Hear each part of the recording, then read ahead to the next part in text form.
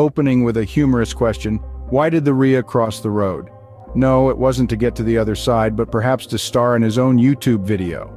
Story. Meet Kevin the Rhea. Not your average backyard chicken, but a six-foot-tall, flightless bird who's become a bit of an internet sensation. You see, Kevin resides at the Urban Rescue Ranch, a non-profit organization dedicated to the rehabilitation of all creatures, great and small. But Kevin, well, he's the star of the show. Kevin the Rhea has a bit of an attitude, a strut in his step, and a penchant for pecking at anything shiny. But what makes Kevin truly unique isn't his towering height or his dinosaur-like demeanor. No, it's his uncanny resemblance to another well-known Kevin from YouTube, Kevin from Call Me Kevin. Now you might be thinking, how on earth can a Rhea bear any resemblance to a human? Well, it's not about the physical attributes, but rather their shared quirks and eccentricities. Both Kevins share a love for the limelight, a flair for the dramatic, and a knack for making people laugh. Like Kevin from Call Me Kevin, Kevin the Rhea is a bit of a mischief maker.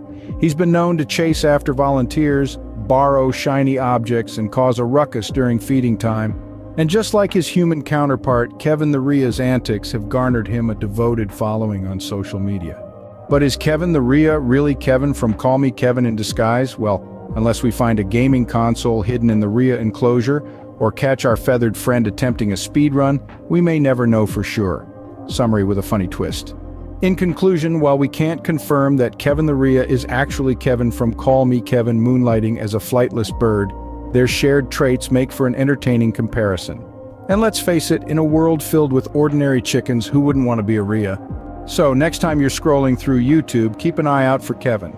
Whether he's causing chaos at Urban Rescue Ranch or causing virtual chaos in a video game, he's sure to keep you entertained.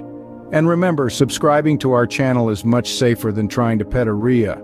So why not give that subscribe button a click? It's 100% Kevin approved.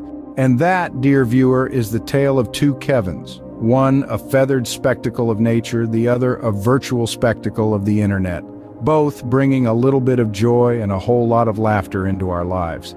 Until next time, keep laughing, keep watching, and keep an eye out for Kevin. Who knows where he'll pop up next?